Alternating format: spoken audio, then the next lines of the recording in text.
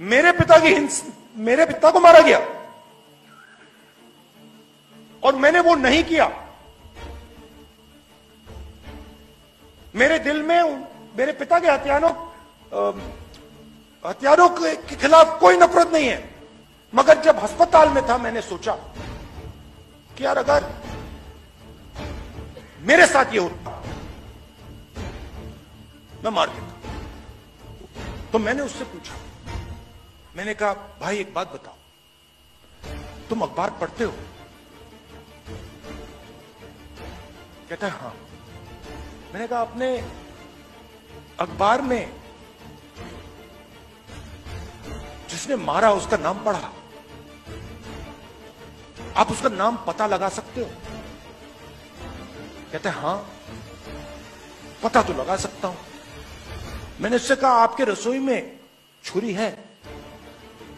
कहते हैं, हाँ, छुरी तो है। ये आप मुझसे क्या पूछ रहे हो? मैंने कहा, मेरे दिमाग में एक बात है। कहता, क्या?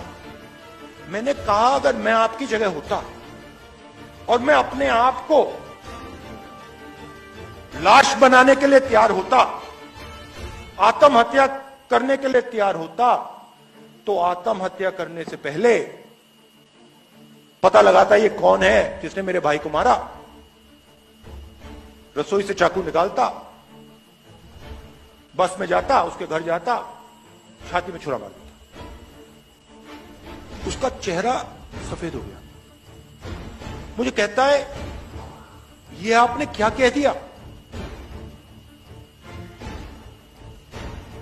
ये आपने क्या कह दिया? मैंने कहा, क्या कहा?